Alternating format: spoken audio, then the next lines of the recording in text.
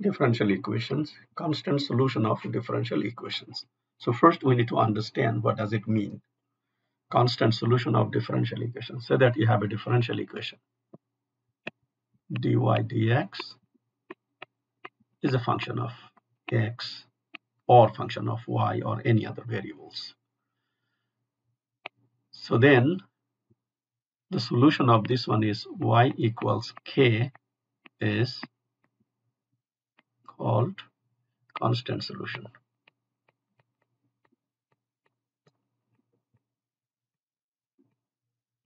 So when you say constant solution, so in this case, we easily understand that dy dx is 0. So in this case, you can have your f of x is 0, or if you write dy dx is a function of y then we'll say fy is 0 or you can have dy dx the function of xy so that means function of xy is 0 so these are the meaning. So now we will have a couple of questions now in a different form. I'm just writing so that you have a differential equation like this y prime equals y times y minus 1 times y minus 2. So this one you can say is a function of y, is that right?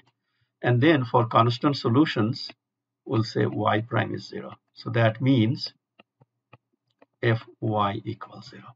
So then when fy equals 0, you are saying y times y minus 1, y minus 2, this equals 0.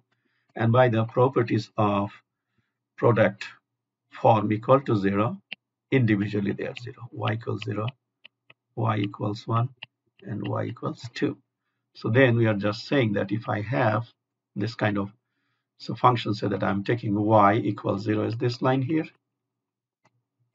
and then y equals 1 is this line here then you can put another here y equals say 2